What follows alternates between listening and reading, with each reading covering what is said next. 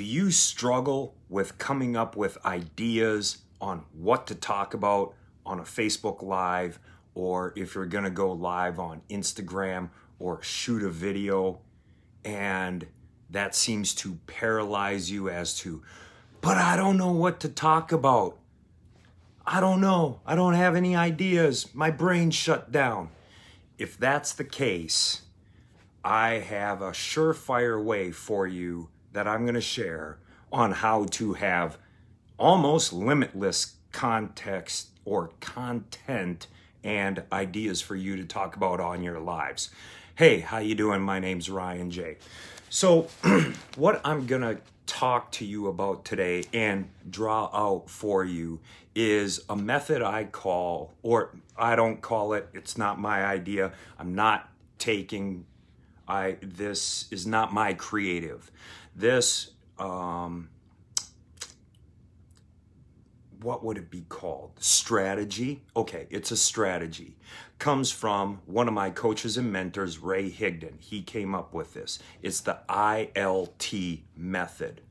ILT method for limitless content when you're going live or shooting videos. And here's what it is I invest. Invest your time, invest money, invest, well, you're putting forth your effort to invest in yourself. The L is you learn it, okay? You learn the thing that you're investing your time in.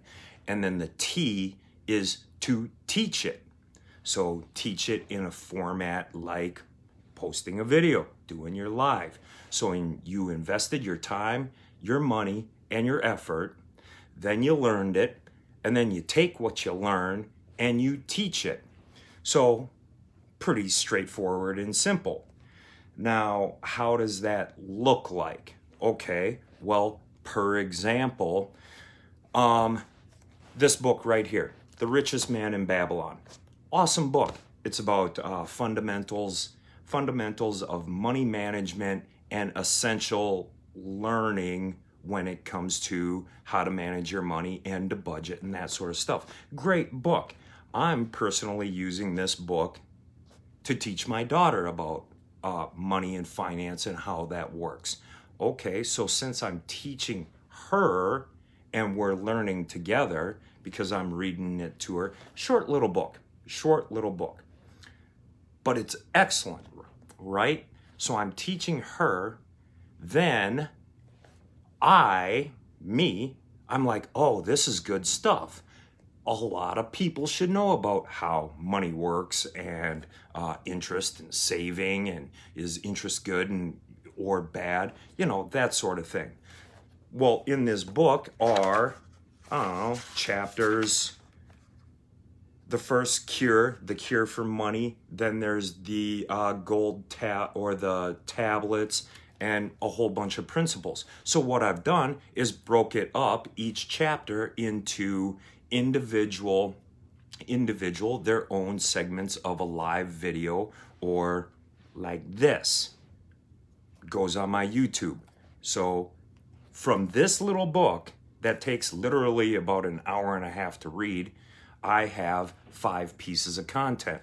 Now, anytime I do anytime I am learning something, of course, always, you know, edify where the information comes from. It's not like I do these videos and say, hey, this is what I learned and I'm the smartest guy ever. No. Yeah, I the content you're watching right now and the ILT method comes from Ray Higdon.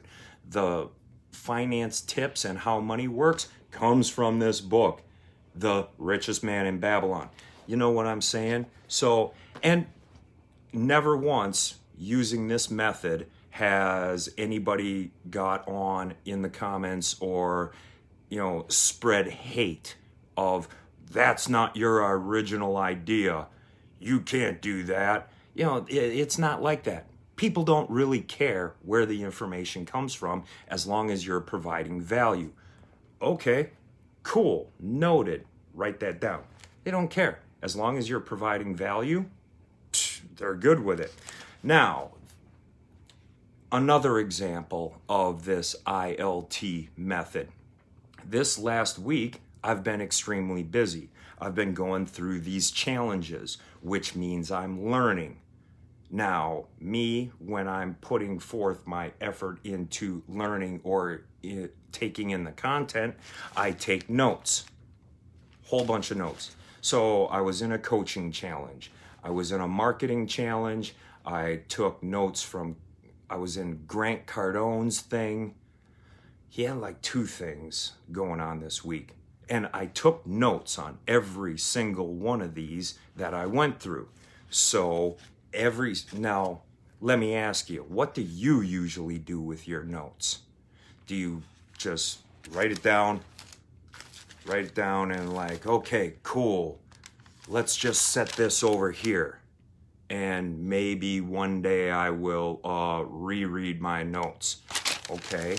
Well that is excellent material for you to do a video on, whether it's live, whether in whatever format it's going on. Teach the material that you have taken notes on and get it out there. That's why I call this file, I even have it labeled. This is at least 100K. Oh, every single challenge I've ever gone through right here. Uh, this is endless material to do content on. Is it making sense? So, using that method, investing your time in learning something, or or whether it's paid or whether uh, you're checking out a book or whether it's a podcast it doesn't matter how you learned it. Maybe you watched something interesting on netflix and you're like hmm that's interesting. I did not know that. Okay you taught yourself then teach it to others super simple super easy now why do i call that file down there 100k because utilized properly with the correct call to action. Now, why are you producing videos in the first place? Because you want somebody to do something, whether it's follow you, uh, like follow you, uh, maybe you have something to sell, it's your product or your service, your opportunity, whatever that is um, follow it up with a call to action. So you're going to get the viewer of whatever you're doing it on to reach out to you some way, shape, or form and get them to interact with you so that you can have a conversation. All right. So, with all that notes, with the proper call to action and a conversation, and then introducing, uh, the product, service, or opportunity, you know, that gets the cash register ringing. Cha-ching. All right. Makes sense? I hope that provided value. Oh, and here's a good call to action that you can use in this. Simply by saying, if you found this valuable and you'd like a copy of my notes, just send me a DM and I'll, you know, take a picture and I'll and you can screenshot it or something like that. That gets the conversation going. Cool. Again, I hope this provided value. I hope you took notes and I hope you can teach this in your next video. Make it a great day.